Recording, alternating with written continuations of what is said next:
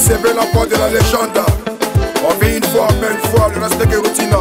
Continuez à manger la vie sauvagement. Faut travailler, faut batailler, faut lutter. Qui m'a fait vibrer? C'est moi. Qui m'a fait C'est mais beaucoup de gens ne savent pas que c'est un désir. Comme nous, on sait. Donc, on te demander, tu as répondu pour que les gens aussi sachent que tu as eu une relation que après, Mais c'est le passé, laisse tomber. Laisse Vous êtes vus et tout ça. Laisse tomber. C'était ma goût.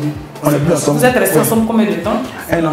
Ah, juste un an. Après, tu étais au Bénin, même elle partait te voir là-bas d'après ce que j'ai entendu.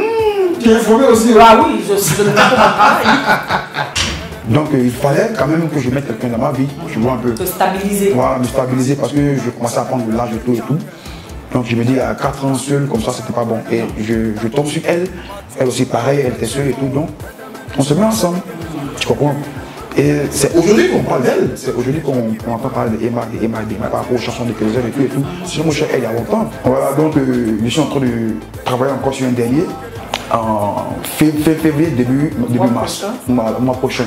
D'accord. Et tout ça est l'argent d'Emma Doubré. hein, d'accord. Oui, c'est elle qui produit, qui elle dans l'équipe. Oui, on a compris.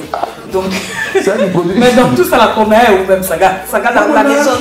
Tu fais quoi avec ton argent? Je je de ma femme. Suivez votre émission Fafa avec Saga la légende ce samedi 30 janvier 2021 à partir de 12h et la rediffusion le dimanche à 17h.